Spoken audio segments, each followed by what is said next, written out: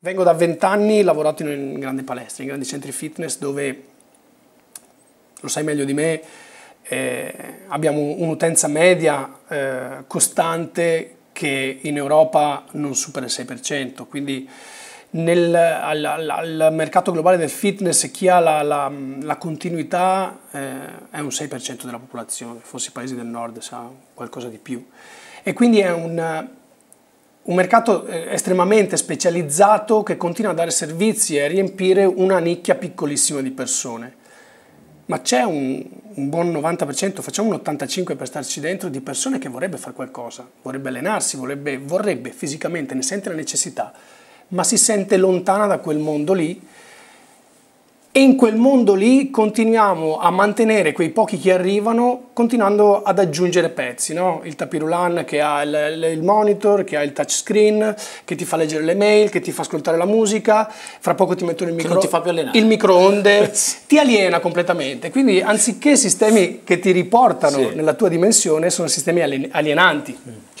Quindi uno dice vado ad allenarmi in palestra, vado una mezz'oretta, non mi voglio stressare, eh, eh, la mattina in ufficio legge la, la, nuova tassa che il governo ha fatto, va in palestra per non pensarci, bam, apre il web del, del, del macchinario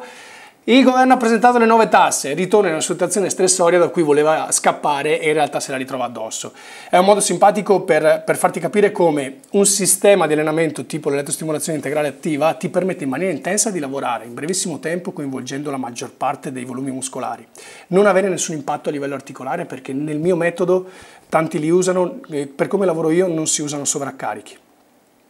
Lorenzo non ha mai usato sovraccarico per esempio, ma è un livello d'elite e soprattutto permette alla persona di rientrare e vivere all'interno del proprio corpo, perché se per 20 minuti non ti concentri su quello che stai facendo, soccombi a livello fisico e a livello di percepito a quello che esatto. il, device ti sta dicendo. Ad oggi siamo arrivati in, in centri dove eh, la persona è dedicata alla, al cliente e